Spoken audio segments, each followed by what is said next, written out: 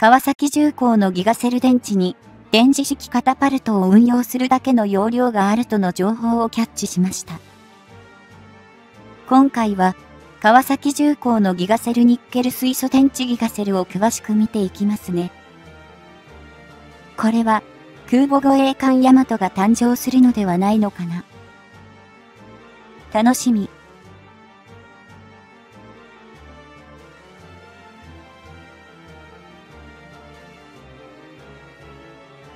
2023年3月15日から17日にかけて、千葉県の幕張メッセで開催された DSEI ジャパン2023に参加していた川崎重工業が、グループ企業川崎モータースが開発した製造、販売している大容量ニッケル水素二次元池、ギガセルのパネル展示において、航空母艦の飛行甲板から関西機の発艦時に使用する射出用カタパルトを電磁式カタパルトにする際の電源として使用できると説明したパネルを展示して話題になっている。この DSEI ジャパン2023とは大規模な防衛、セキュリティ総合、展示会で防衛省、外務省、経済産業省、防衛装備庁、海上保安庁の日本の防衛関連省庁の全面的支援の下に、2019年から日本で開催されていて、今回の DSEI ジャパン2023、2019年に続いて2回目となり、防衛、セキュリティ産業に関わる多数の企業が他に類を見ない規模で一堂に会し、世界中の企業担当者が日本及びアジア各国の防衛、セキュリティ関係者と共にパートナーシップを築き、知識を共有してイノベーションをジャッキする場として期待されている。ニッケル水素電池は、乾電池型充電池やハイブリッドカーの電源、あるいはデジタルカメラ、携帯音楽プレイヤーや一部のノートパソコンの専用電池などとして広く普及している蓄電池であるが、川崎重工業が展示した大容量ニッケル水素二次電池、ギガセルは、高速密る放電が可能な瞬発力に富んだ次世代の蓄電池として開発され、日本国内の路面電車や太陽光、風力発電などの自然エネルギーの出力安定化に貢献する地上蓄電設備として利用されるなど、環境へ十分な配慮がなされ、エネルギーの有効利用、CO2 削減に貢献する地球に優しい電池とされている。その特徴として、バイポーラ 3D 構造によって電池のセル容量やセル数の増加が容易なために大容量がしやすいこと、内部抵抗が小さいために高速密る放電が可能なこと、耐久性が高く長時間使用が可能なこと、環境や人体に影響を及ぼす鉛、水銀、カドミウムなどの有害物質が使われていないこと、常温で作動するため、設置場所に制約がなく、電解液が水溶液系のものであるため、発火する心配がないことなどがある。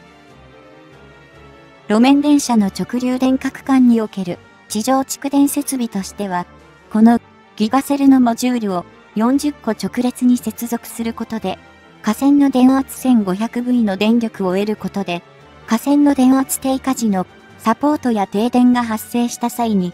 電車を最寄り駅まで移動させるための電力として用いられるほか、列車がブレーキをかけた際に発電する、回生電力を蓄電する目的で、変電所などに設置されている。これらの特徴から、電池の搭載のための広いスペースがある航空母艦にモジュールを多数搭載することで、発電された電力を蓄電しておいて、膨大な電力を消費する電磁式カタパルトの電源として利用可能であることや、リチウムイオン二次電池のように有機溶媒を使う電池に比べて、火災などの危険が少ないことも、航空母艦での利用にメリットが大きいとして、川崎重工業は主張している。航空母艦において、関西機の発艦に使用されるカタパルトは、これまで、ボイラーで発生する大量の蒸気を利用する蒸気式カタパルトが主流であり、現在運用されている航空母艦では、アメリカ海軍のニミッツ級原子力空母や、フランス海軍のクレマン層級原子力空母のシャルル・ド・ゴールなどで運用され、その信頼性は非常に高い。しかしながら、蒸気式カタパルトは、エネルギー効率的には、ロスが多く、艦内における蒸気用配管が複雑になるなどのほか、出力のコントロールが難しいために、近年、空母での活用が重要視され始めた無人機など、小型で重量が軽い航空機を射出できないなど、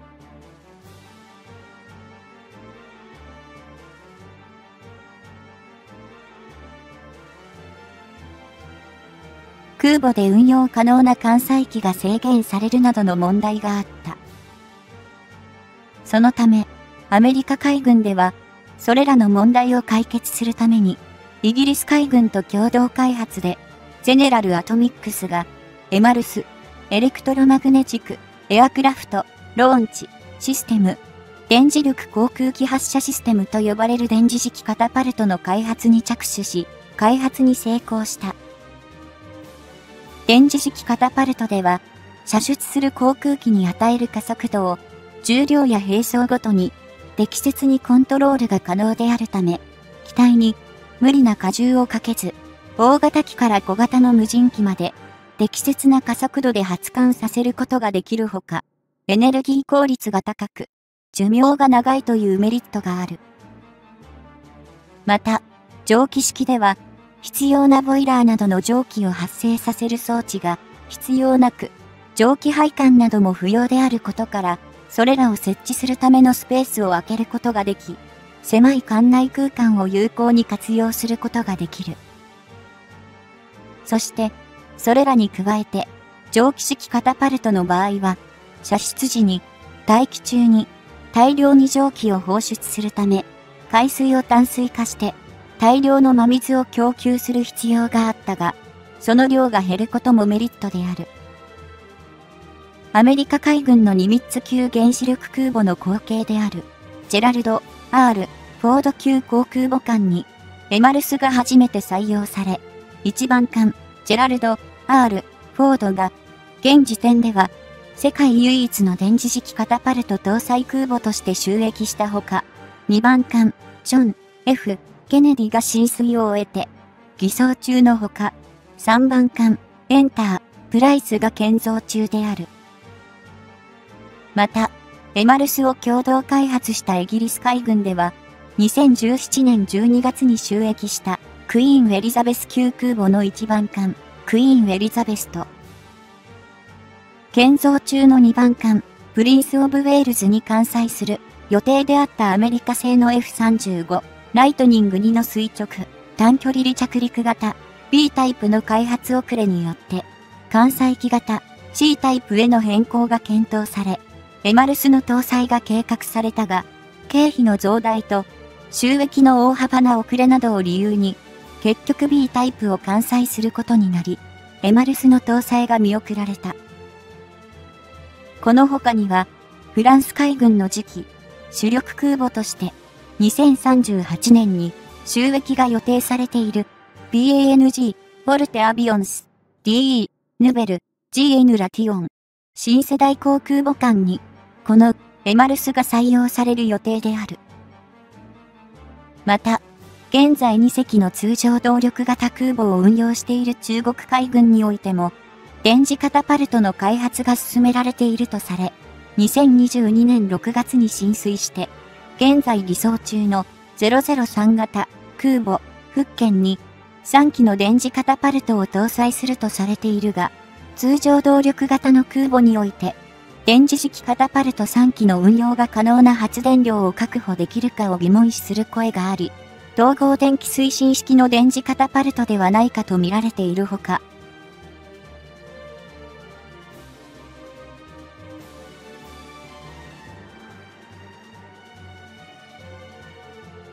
浸水式の際に3機のカタパルトがそれぞれテントで覆われていて確認でき内容されていたことなどから、これまでの運用実績がある蒸気式カタパルトが採用されているのではないかとの見方もある。その他、インド海軍も、現在建造を計画中の国産空母、ビシャルでも、電磁式カタパルトの採用が予定され、エマルスが提供されることになったが、ビシャルが原子力から通常動力に計画変更されたため、中国と同じ統合電気推進式の電磁式カタパルトとなる予定である。この他に、ロシア海軍でも、次期空母に、電磁式カタパルトの装備を計画しているとされ、2022年には、陸上で試験を行うと発表していたが、ウクライナ侵略戦争などによって、実際に実施されたかどうかについては伝わっていない。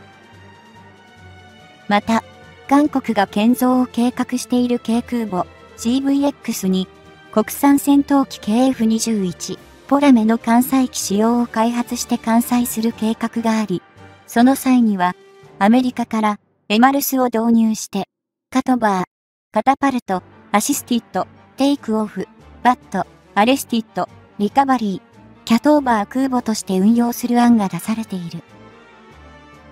日本の海上自衛隊においては、現在、いずも型護衛艦の1番艦、いずもと2番艦、かがにおいて F35B を艦載するための空母化改修が進められているが、現時点では F35B を短距離発艦、垂直着艦で運用するため、カタパルトの搭載は検討されていない。しかしながら、近い将来には偵察用ドローンなどの無人機を艦載しての運用が考えられており、その際には、発艦させるためのカタパルトが必要となるとされていて、川崎重工業のギガセルが空母用電磁式カタパルトの電源として使用可能とされたパネル表示に注目が集まっている。